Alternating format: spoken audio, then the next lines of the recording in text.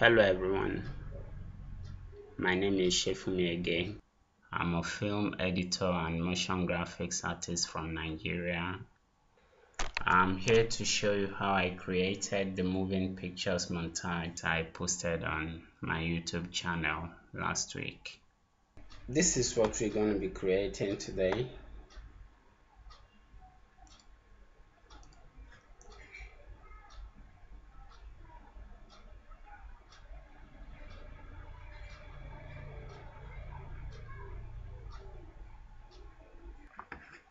Let's start by opening a project.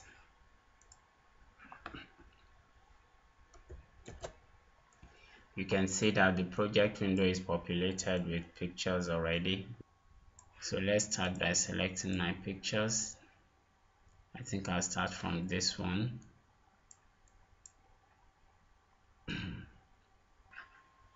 By clicking on the first one and then shift clicking on the last one here and drag them all into the timeline. And you can see that the pictures are of various sizes. So I'm going to try to reduce them to the appropriate size and make them all to be equal in size. So let me start with the first one. Hit S on the keyboard to bring up the scale properties of the layer. Scale it down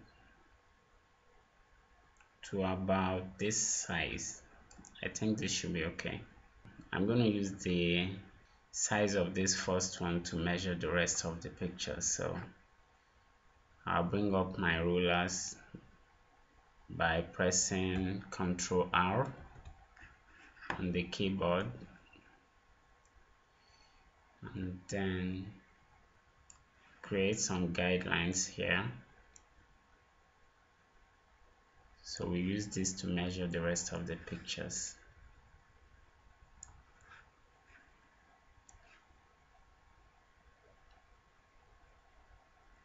So I'm going to shut off the eye of the first picture and then click on the second one. Hit S on the keyboard to bring up the scale property and scale it down. So I'm going to do the same thing to the rest of the pictures too so bear with me as I do that. This is the last picture. So let's hit S on the keyboard scale it down. So with that done we can get rid of the rulers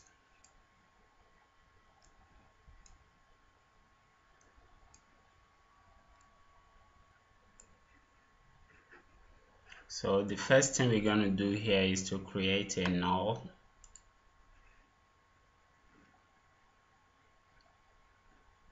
And we're going to use the null object to animate all of our pictures. So let's select the first picture and then shift click on the last one and parent them to the null. I pressed P on the keyboard to activate the position property of the null. So when I move the null all of the pictures move with it. Now I'm going to try to arrange the pictures on the x-axis. So to get an accurate and equal space between the pictures I have to bring up um, the proportional grid. Click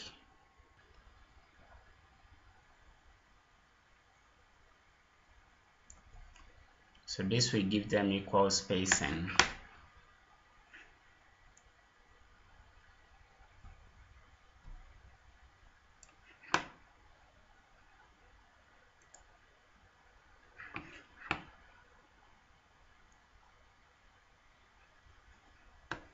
so this is how I'm gonna arrange all of the pictures on the x-axis so I'll just arrange the rest of the pictures and then we can continue. Now that all of our pictures have been arranged we can get rid of the proportional grid and start to animate our pictures. So let's call up the position property of the null object to start our animation. So let's move um so let's move everything off screen.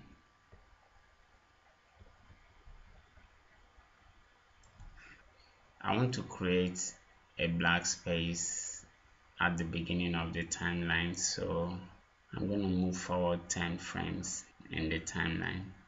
The fastest way to do that is by pressing and hold on the shift key and then tap on the page down key and that will move you 10 frames forward in time so we click on the stopwatch here to create a keyframe.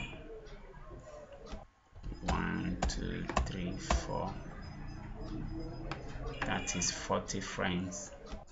We move along in the timeline at 40 frames intervals creating keyframes by dragging the position of the null in opposite directions on the x-axis to create this back and forth motion of the pictures. So I'm gonna ease this keyframe by right clicking on the keyframe and easy easing so this will ease the motion. I'm going to try to ease it more by clicking on the keyframe velocity crank it up to 100% so that will ease the motion more. My composition is only about 4 seconds. I did not remember to set the composition duration time and my composition is only 4 seconds. So I'm going to try to change that now by coming to composition setting. So the duration is just 4 seconds. So I'm gonna make it okay. I think I'll just make it 2 so what I'm gonna do is I'm going to extend the pictures to the duration of the composition by going to the end of the composition pressing end on the numeric keypad and then selecting everything and alt press alt right bracket to extend the layers. Now we can go back deselect one two three. 30 frames along and then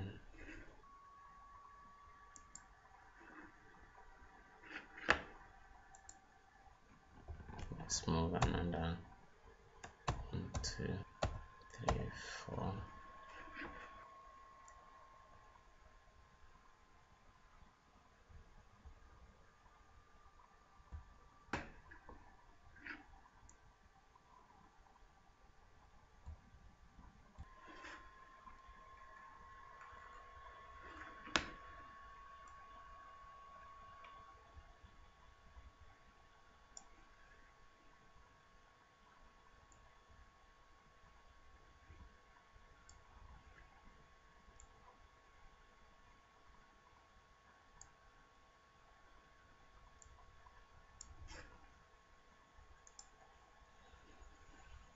I'm gonna bring up the proportional grid again so I can measure the center of the composition.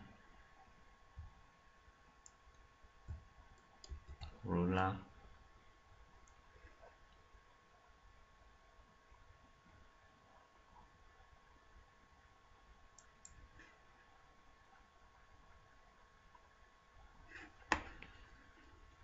Okay so when you get to the picture you want to introduce you click on the picture and then you activate its scale properties.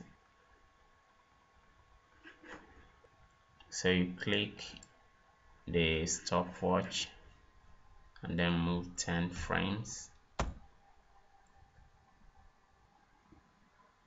And you scale it up a bit think this is okay. You move 5 frames forward. And then you copy this keyframe Ctrl C and then you paste it Ctrl V. So we're gonna ease this motion. Let's give this one easy ease and this one easy easing let's go to the keyframe velocity and crank it up to a hundred percent.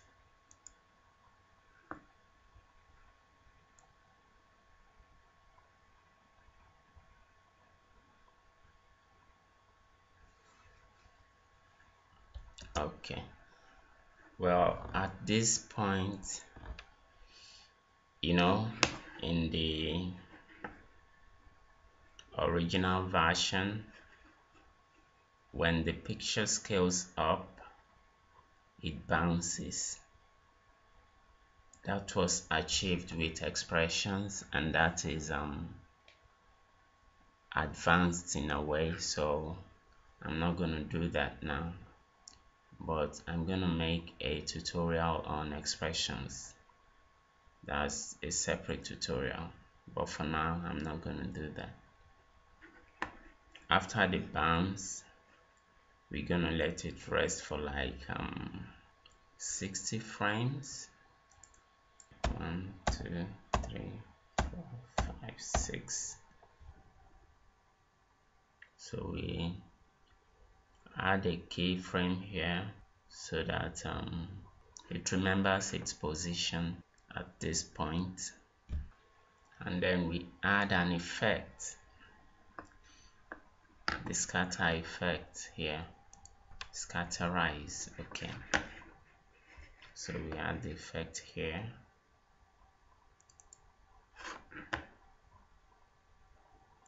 We're to animate the right twist and the left twist. This is how we achieve the transition from this picture to another picture. So now that we have um, keyframed the three properties there we're to move 10 frames. And then make one full revolution for this. One full revolution for this too. And then we scatter. Okay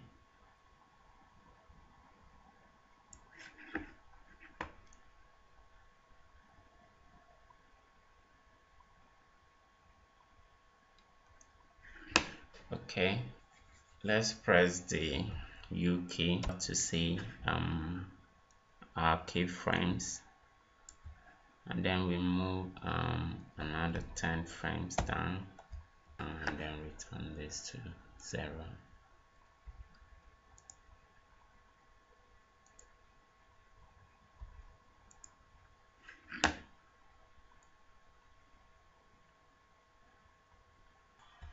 so at this point we're going to cut the layer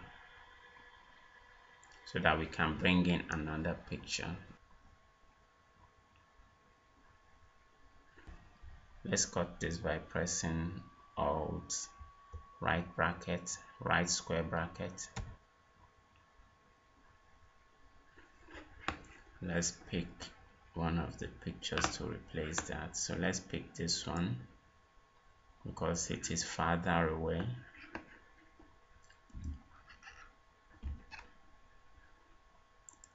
we simply do that by duplicating this.